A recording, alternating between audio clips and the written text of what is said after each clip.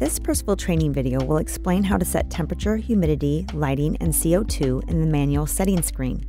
Settings for program modes are covered in separate videos. On the status screen, touch the word status in the upper left-hand corner to access the navigation menu. Touch manual to bring up the screen where you can change the manual settings. If a program is running, the manual option is not visible. You must first go to the Run Mode option and then choose Run Manual. Under the Inputs tab, you can change the settings for temperature, humidity, and CO2 if applicable, or enable the humidity and CO2 channels. Touch, hold, and release the value of an input to bring up a keypad and change the value. Then touch the green arrow to record the value. You can also use the slider to change the value of an input.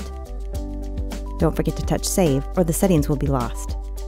If you've chosen a value outside of the alarm or control range, or if the input channel is turned off, you'll see a pop-up warning. Touch OK and change the settings to correct this. To change the light settings, switch to the Lights and Events tab. If your lighting is dimmable, you can change the settings the same way as the other inputs by touching and holding the value or by using the slider. If you have multiple dimming events, you can change the lights individually. Remember to touch Save to preserve the settings.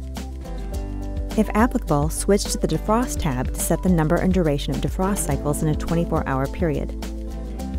Percival recommends a 7 minute defrost duration. Then touch Save. You can then touch the clock icons and choose the start time for each defrost cycle.